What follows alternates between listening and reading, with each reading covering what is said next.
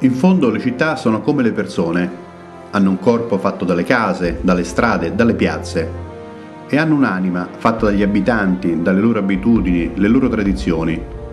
Queste cose tutte insieme fanno l'identità di un luogo. E qual è l'identità di Ladispoli?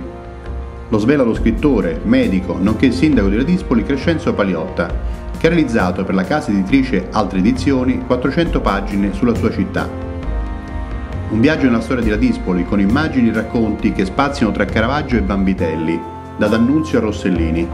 È un'edizione, la seconda, riveduta ed ampliata. Sì, è una riedizione di un libro già edito, eh, però ci sono tantissimi motivi per eh, rileggere questa nuova edizione. Ci sono sei capitoli in più, eh, ci sono tante novità, perché questo è un territorio ricco di, di novità eh, di scoperte come un magnifico quadro del 1700 che rappresenta il castello e il borgo di Palo che non sapevamo nemmeno che esistesse ed è al castello di Bracciano e da qui ho tratto la copertina. Eh, novità come l'articolo di Gabriele D'Annunzio che annuncia che sta per nascere una nuova città, si chiamerà la Dispoli, con il tono eh, così tutto aulico di Gabriele D'Annunzio. Eh, ci sono le novità mh, che sono cose antichissime che però eh, scavando per fare opere pubbliche sono venute fuori, quindi i rinvenimenti di un villaggio dell'età del bronzo, eh, di una strada etrusca nella zona mh, mm, agricola di Ladispoli, quindi una città, come abbiamo detto qualche volta, Ehm, nuova dal cuore antico e ogni volta che mh, si scava si trova qualcosa di antico, ogni volta che si va a cercare nei libri si vede che questo è stato un territorio importantissimo e quindi penso così un piccolo contributo eh, alla conoscenza di un territorio che tutti amiamo. Scorrendo il libro quello che si percepisce è la passione che lei nutre verso la sua città. Ma io penso che ognuno dovrebbe amare il luogo dove abita, qualunque esso sia, perché abita, i luoghi raccontano, noi dobbiamo saper interpretare, eh, raccontano quello che c'è stato, quello eh, che c'è tuttora, l'umanità che ci vive e quella che ci è vissuta. E quindi io sono profondamente legato a, a questa terra come penso gli abitanti di Ladispoli venuti qui da tante parti del mondo. Le mie origini vengono dalla, mm, sì, dalla Ciociaria, da Cassino, Frosinone, però poi sono nato a Roma, poi sono cresciuto qui quindi sono il tipico caso di, di chi le radici le sta mm, creando, se le sta formando, eh, certo eh, gli anni, gli anni sono passati tanti, ma sono uno di quegli italiani che ha cambiato luogo dalla provenienza dei propri genitori e dei propri antenati al luogo di nascita, al luogo di dove siamo cresciuti. La Dispoli è fatta così, è fatta da tante tante persone venute da tante parti del mondo e la radice comune è questo, intanto conoscersi reciprocamente rispettarsi reciprocamente, ma anche conoscere il luogo dove abbiamo scelto di vivere per sempre. Ma com'era da bambino l'attuale sindaco? E si interessava un po' a tutto, qualunque cosa. io i primi anni siamo stati a Roma, lo portavo sempre con me e lui era preso da tutto, interessato di tutto, insomma, delle cose. Sul, sul tram, una volta, dice papà, ma perché ci sono tutti questi posti? Perché ognuno quando sale eh, si mette al posto suo. In un altro momento siamo saliti sopra, era tutto affollato. Dice papà, ma il posto mio.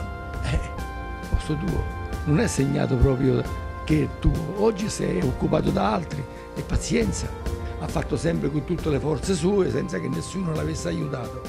Capito? Sempre da solo. Io l'ho aiutato con i soldi, la madre l'ha aiutato col vitto, ma per lo studio è fatto sempre da solo.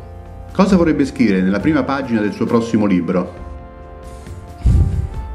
Eh, nella prima pagina del prossimo libro, siccome parleremo di, parleremo, se riuscirò a farlo, questo secondo libro, di, di cinema, del grande cinema passato per la Dispoli, che la Dispoli è stato anche un grande, siamo, siamo stati un grande set cinematografico. Eh, per, e si sa che i set vengono portati nei luoghi belli. Riscopriamo la bellezza mh, di questi luoghi perché se qui hanno fatto correre i pirati eh, dei Caraibi e se qui hanno fatto solcare le navi appunto eh, degli Yolanda la figlia del Corsaro Nero, se hanno portato Adamo ed Eva nel paradiso, paradiso, terrestre oppure se hanno fatto correre la macchina di Gasman del sorpasso evidentemente ci sarà un motivo, se la grande guerra qui finisce la sua um, drammatica storia con delle bellissime scene ci sarà un motivo. E quindi ecco vorrei che la Dispoli eh, diventasse per, per, un po' di tempo ricordasse di essere stato un set cinematografico. Se lei fosse un regista, oggi quale ciacche girerebbe? Noi questa mattina abbiamo proiettato un film di Pietro Germi nel 1956, si chiama Il cammino della speranza e racconta la storia degli italiani che emigravano in Francia illegalmente, drammaticamente, qualcuno di loro moriva anche in questo passare le Alpi clandestinamente. Quando abbiamo finito eh, abbiamo chiesto se c'erano domande, una ragazza di 16 anni eh, si è alzata, ha cominciato il suo intervento, ha detto io non sono italiana, ma lo diceva in, in un perfetto italiano, non è riuscita ad andare avanti, eh, si, è, si, è, commossa per un po', poi eh, l'applauso de, dei suoi amici, compagni di classe è riuscita a mandarla avanti, lei dice io sono albanese, sono venuta qui quando ero piccolina, mio padre stava già qui, noi abbiamo fatto un viaggio avventuroso, potevamo morire come sono morti quegli italiani che nel 1956 cercavano di andare in Francia, però sono cresciuta qui, mi sento italiana, io sento di aver trovato il posto giusto. Ecco, vorrei far raccontare a una ragazza di 16 anni che viene dall'Albania e che dice sono italiana, eh, la Dispoli, vorrei far raccontare a loro perché forse è un modo diverso di vederla. La Dispoli, immagini e racconti, è l'essenza di una città, è lo spazio e il tempo racchiusi tra le pagine di un libro che narra la storia di una piccola stazione balneare, ormai divenuto il luogo delle cento identità